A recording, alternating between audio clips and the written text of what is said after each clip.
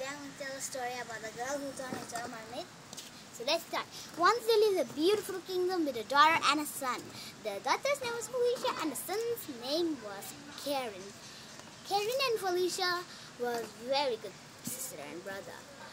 And also, Felicia was very foolish. She didn't like to help others and never be friends with others she doesn't know.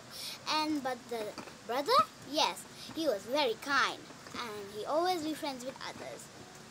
So, one day when they were going to a forest plucking apples and berries, they saw old lady that was a fairy. They didn't know that.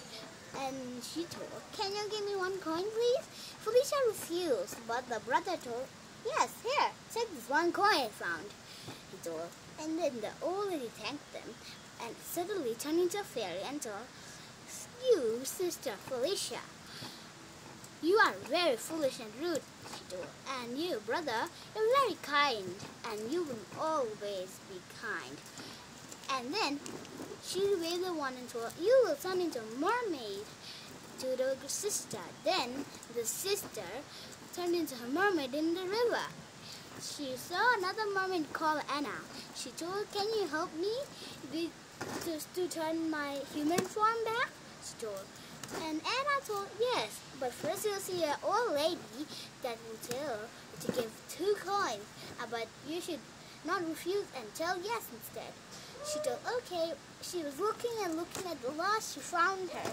It was her last chance, so she told, the old lady told, can you please give me two coins? She told, yes.